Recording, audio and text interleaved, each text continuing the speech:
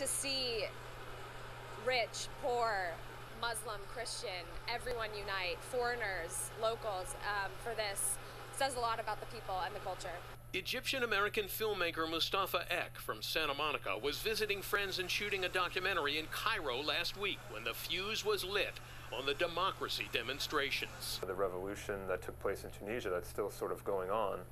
And that, that was definitely a tipping point in Egypt. It, it really got people talking, you know, just seeing that if we, if we go out in numbers, we, we can uh, we can do something about this. You know, the destiny is in our hands. But he says Mubarak's decision not to run for re-election in September may not be enough to satisfy the protesters. I think the next few days will be very telling that I know what, what will happen, obviously, but I don't I don't see any way other than other other than for him to step down.